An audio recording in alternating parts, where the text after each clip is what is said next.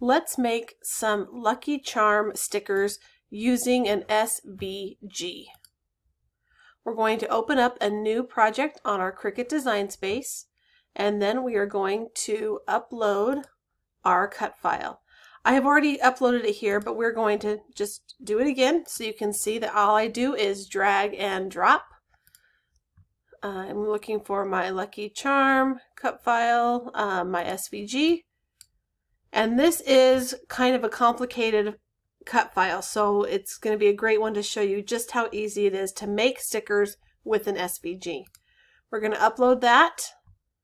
We're going to click on our recent uploads, and then we're going to add it onto our canvas over here on the right hand side. And here it is on our canvas. Over here on the right, you can see in our layers panel, how all the shapes are kind of broken out so you can turn off any of those layers that you don't want if you don't want to make all of those stickers. But we're just going to use them all and um, I am going to leave everything highlighted in a group over here in the layers.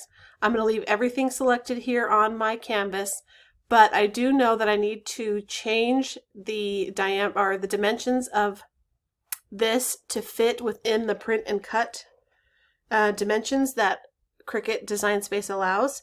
So I'm going to highlight my width and change it to, to 6.75. And once I hit enter, it'll keep all those same measurements because I didn't unlock the square. But this is our print and cut measurement is 6.75 for width and 9.25 for height. But we're not going to use that 9.25. And these will still make good size stickers. You can see the U is still about two inches wide. Um, so I'm going to go over to um, the right here on this layers on the bottom of our layers panel and click flatten. So that'll flatten that.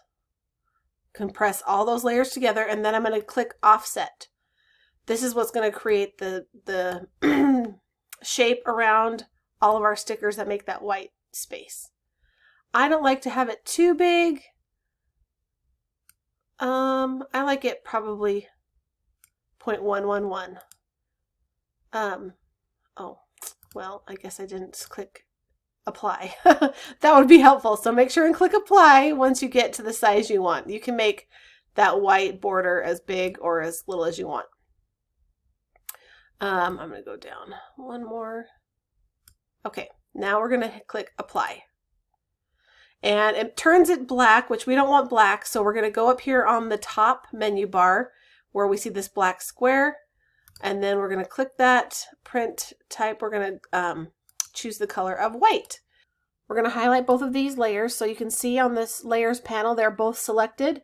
And then we're going to go down to the bottom and we're going to click flatten again. So now they are just one layer. And then we're going to click make it. And we're going to send it to our printer. Turn off the bleed because we're just going to have a white outline for those stickers.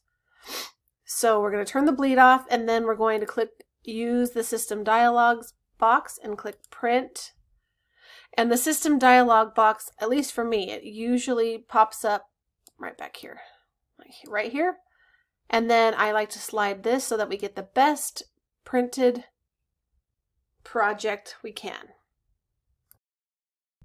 I loaded my sticker paper into my printer.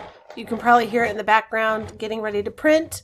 Um, and then I am going to change um, the base material actually to poster board on the dial for my Explore Air 2. But poster board is the base material when I go to cut it because I print it out on my sticker paper and I use a, um, let's see, an online labels sticker paper. It's called the Weatherproof One label sheet. So it's a full-size label sheet and it's the waterproof one from online labels. And then I'm going to cover it with a um, Avery self-laminating um, sheet so that it gives it that extra protection and then change my base material for to cut to poster board and I will get those cut out.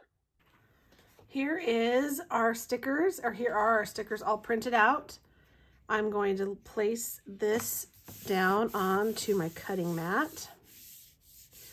And these black registration marks are the marks that the machine are going to read in order to um, cut the stickers out. What I like to do is take my ruler and measure within those markings so that I can cut seven and a half by six and a half. And then I, um, I like to cut down my, this is my Avery self-laminating sheet.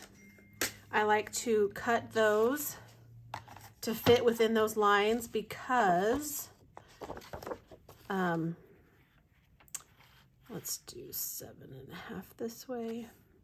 A little less than seven and a half, I think. Uh, the, the machine doesn't like the glare off of these um, self-laminating sheets. So I like to make sure that when I put it on, it's within those marks so that the Cricut can read it easier.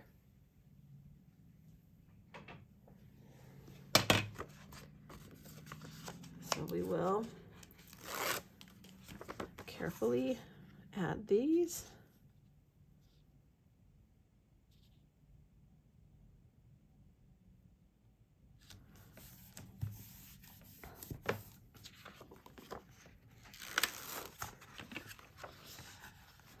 And then I just use a scraper to kind of get a good seal and press out any air bubbles as I go down.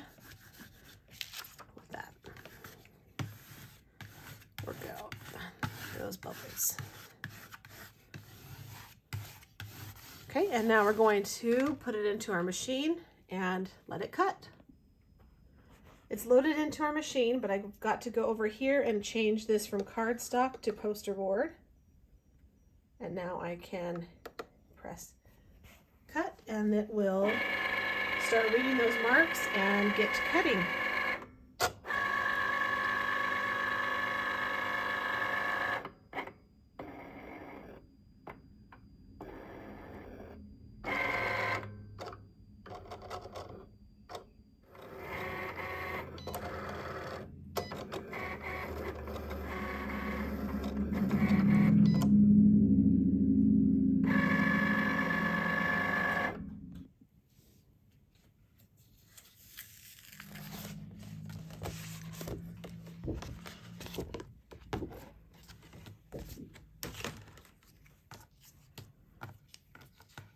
And there you go. They're all cut, ready for sticking on whatever your heart desires.